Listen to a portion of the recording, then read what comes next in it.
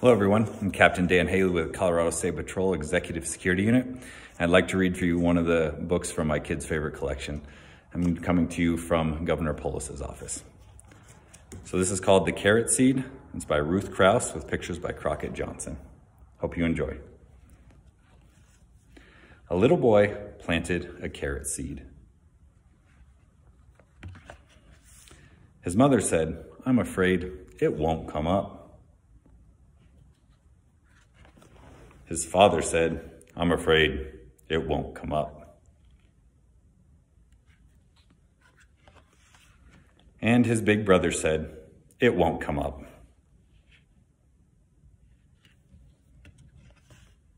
Every day, the little boy pulled up the weeds around the seed and sprinkled the ground with water. But nothing came up. Nothing came up. Everyone kept saying it wouldn't come up.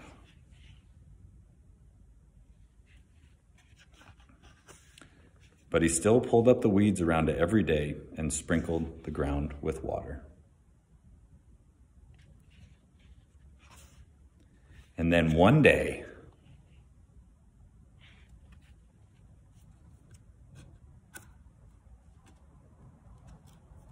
a carrot came up.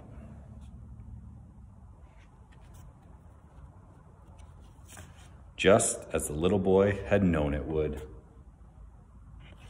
It's just a good reminder. Sometimes it takes a while for the good things to start up again. Let's stay in this together. We're doing great, Colorado. Keep it up.